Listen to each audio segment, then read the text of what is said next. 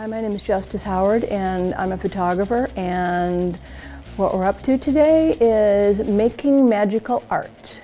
Hi, this is Dragon Dronet and we're going to get a beautiful shoot by Justice Howard who is one of the best photographers in Hollywood. She's also one of the most pro. She has an eye that's just incomparable. Uh, a lot of what I do is very out of the box, um, yet very iconic. What he does is very out of the box, and uh, that's why I, I love working with him. I'm actually in the book that is upcoming, her second photography book that she's put out. Her first one's a mega hit. So now we're getting ready for Comikaze next.